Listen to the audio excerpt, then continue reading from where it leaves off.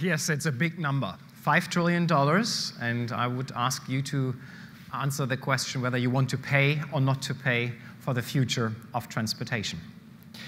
Let's imagine a beautiful city somewhere in the world where you can ride any taxi, any train, any bus, and any bike for, or with just a simple application, where all vehicles are shared to make traffic flow, where all vehicles are electric to give us air to breathe. A city where you can call a robotaxi anytime and it takes you anywhere without any delays and for just a few cents per mile. A city where people happily give up their personal cars because they can save a lot of money. A city where parking lots turn into parks with many ways for us for walking and for biking. This is a place where I would want to live and work and raise my kids, and uh, I think maybe some of you too. So, allow me to take you on a little journey on how we can make this magical future of mobility reality. But let's begin with what innovation in transportation looked like about 35 years ago. For the younger folks among you, uh, this is KITT, uh, a state of the art autonomous car with a real cool personality powered by artificial intelligence. And you could actually call KITT with your watch, with your smartwatch. KITT, where are you? And KITT would turbo boost over fences and rescue David Hasselhoff. Growing up in Germany, I loved the show. And uh, I loved it so much that uh, David Hasselhoff and the smart car actually taught me English. And um, I loved it so much that I even moved to Detroit, of all places. But to this day, nobody has built one of those beautiful cars for me yet. But uh, all of us, kind of, for, for us, the transportation systems here are somewhat of a uh, arteries. You know? It's like when the system is working properly, a community is likely to thrive and prosper. But system breakdowns or blockages can quickly lead to quality of life issues, like never ending traffic jams or suffocating pollution. These problems can quickly put a vibrant community into cardiac arrest. But all of us could make a fundamental difference, a big difference, with just a little change. After digging through hundreds and hundreds of studies and uh, modeling about uh, 450 effects um, of how innovation in transportation impacts our economy, I came to conclude that a simple 12 cents per vehicle mile could make 1.7 billion people mobile in this world. And the good news for us is this evolution of transportation is actually accelerating. But we in Detroit, for us, winter is coming. um, and uh, if we do not change, we actually may become extinct. Um, the evolution of ground transportation over the last hundred years, many inventions in personal and public transportation have given our societies a lot, a lot of prosperity. Today, a lot of uh, these innovations are stacking up to create unexpected exponential changes, like connected vehicles driving on connected roads or artificial intelligence driving our very vehicles. And exactly as Ray Kurzweil projected in 2006, these exponential innovations are calling for exponential exponential changes are calling for exponential innovation. so, what is this next big thing? Well, this one is a beautiful car, isn't it? It should be, because it is the second largest item on our budgets. And it has some very dirty little secrets. Today, we use our very expensive cars only 4%, barely 4% actually, of the time. We drive alone 70% in vehicles that are designed for five to seven people. And this is why 94% of weight is moved around that is empty. We are wasting a lot of fuel. Only 6% is passengers. In range anxiety, many of us have range anxiety, but 92% of trips are less than 60 miles. And 86% of time, our powerful turbo boosted engines drive no faster than 35 miles per hour. And now add autonomous technology to this. You will find more vehicles on our roads that are driving empty. So much waste for so little happiness. And the next big thing is very, very small. Ultra small vehicles that are electric, autonomous, that are delivered as a shared service and sometimes even for free. And we urgently need innovations like this because our fast growing cities are drowning in traffic. And today, we drive 90% of surface miles with our oversized, underutilized, and highly inefficient vehicles. You may say, well, we can afford it, but let me show you how much money we actually pay for all of this waste. $5.6 trillion. That's a lot of money. And only half of it is what we owners pay directly. We, as society, pay indirectly another two and a half trillion,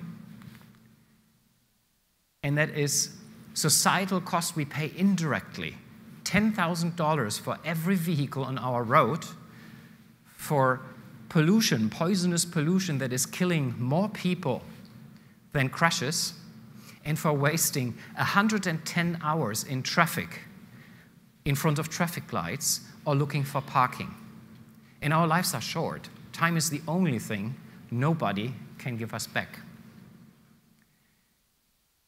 And only 1% of this mountain of money we pay to provide public transportation for over 100 million people in our country. But our public transportation system, as you can see here, is also highly inefficient. Our buses are crawling through traffic. In average, they transport about 10 passengers in vehicles that can carry 78. So again, it's about 94% of empty weight, equal to cars, but they waste a lot more fuel because you have to move 14 tons at a measly 4 miles per gallon. And the bottom line, we passengers only pay about 25% of what it costs to provide bus services here in the United States. 75% is subsidies paid by our tax dollars. So it is time for true microtransit. One bus can be replaced by 24 of these ultra small vehicles that can provide more service, much more uh, flexibility, but also at a fraction of the cost. And disruption is on the way. Google owns the patent for free rides, meaning they are taking their online business model to the road. Businesses would pay Google to provide free customer rides to their brick and mortar stores. It is not hard to imagine what free rides would do to other transportation providers, but also to congestion on our roads. This brings up two important questions. Why do we make people pay for public transportation? We subsidize most of it anyways. And what do we road users actually get for free? Not much. 65% of our roads are in poor or fair condition. And over 65,000 bridges are dysfunctional. It's actually dangerous to cross them. And the infrastructure business in the United States, not a good business. Our assets, roads and bridges, are worth about $84 trillion. All of us here in this room and many people elsewhere are paying about 300 billion for tolls, for licensing, for fuel tax, and also tickets, unfortunately. Um, and this translates into a whopping 0.4% return on assets. And now let's assume for a moment the 300 billion is depreciation. We are sweating our assets for over 250 years. This is why spotting and swerving around potholes has become part of our daily commutes. So let's talk about the elephant in the room. Why don't we all pay a few cents, just a few cents per vehicle mile, to invest into our ailing transportation system? And why don't we make public transportation for free? It would certainly get some people off our very congested roads. But as we have just established for our roads and bridges, free is maybe not the best way forward. A fair price should reflect the true cost each mode of transportation creates for our society. And a smart price would actually do much more.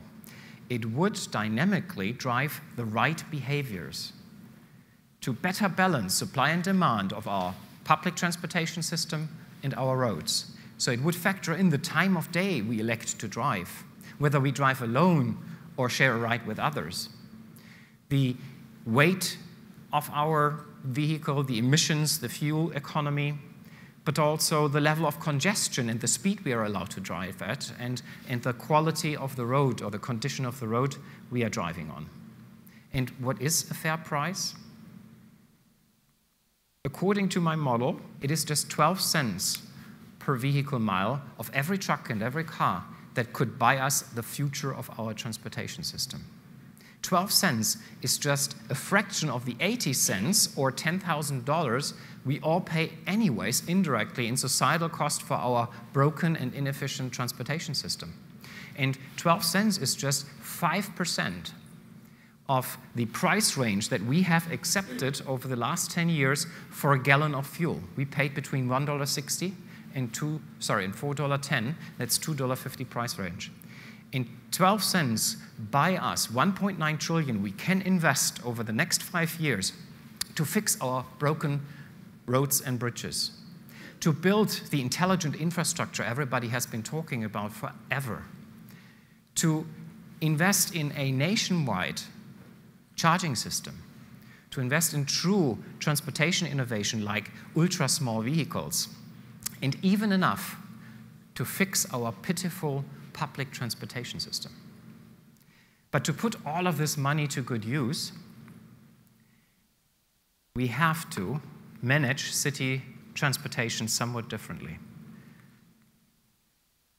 Today, in most places here in the United States, obviously excluding Delaware, um, transportation is managed in silos different regions are managing their transportation systems independently. Even in one city, often agency by agency is managing different modes of transportation, often with very, very little collaboration. One possible solution, we make funding subject to collaboration across agencies and regions. This would align disjointed agencies behind one common goal, to manage all transportation options as one integrated multimodal system. And this is also an opportunity for us to actually create self-funding public-private partnerships. Progressive cities could put real estate, could, could put their assets, their road assets, their transportation assets in real estate investment trusts. This would allow financial markets to invest in these transportation assets, but also us to invest in transportation assets that are most important for our communities. Cities could, like their European counterparts, outsource the operation of transportation based on performance based contracts. And enabled by ITS, by intelligent transportation systems, and funded by smart pricing, this would in fact create a self funding system with very safe, invest, uh, very, very safe uh, returns on investment for investors. And this is how mobility would become much more affordable. And mobility as a service would benefit especially those that at the moment cannot afford and probably will never afford to be able to own a car in Asia and Africa, but also 75 million people here in North America. It would give them access to health care, to education, and to jobs, and this has the potential to create 57 million new jobs around the world over the next 10 years. All of this to create much more GDP, and there's a, no, a lot of value at stake for us. Over the next 10 years, innovation in transportation can produce $5.1 trillion, the ticket, in economic value. 2.6 for society overall, and 2.5 for various industries. The biggest winners are fleet owners. They waste a lot less time in traffic and they benefit from digital business models. Vehicle manufacturers will sell more fleet vehicles to mostly fast growing cities and in emerging markets. And more fleet vehicles means more insurance premiums, and more technology on those vehicles will mean higher premiums, but will also mean that we have less crashes and less claims. Other obvious winners are providers of intelligent transportation systems, but the biggest winner of all is society.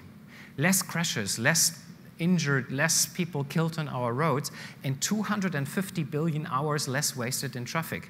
That is 140 million work years. You can do a lot of things with 140 million work years.